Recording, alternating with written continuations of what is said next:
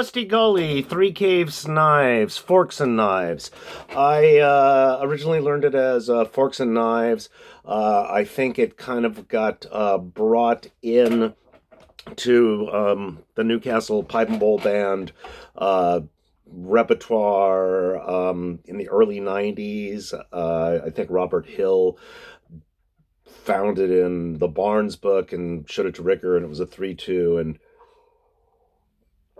it became one of those tunes that the band played. And then later on, when I was part of the band, we played it, and uh, we still play it today. It's a lot of fun to play with other people. Um, fun to play alone as well, but it's nice when you have a drummer, people to play off of and stuff like that. Uh, hopefully, with all of us getting vaccinated, we will have uh, more of that soon.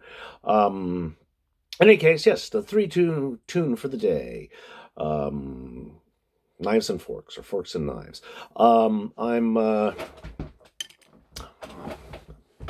at a loss for words. Um, it's going to rain. Okay, there we go. I'm back to talking about the weather. And uh, I hope you're all doing well, and I'll see you all again soon. Bye bye for now.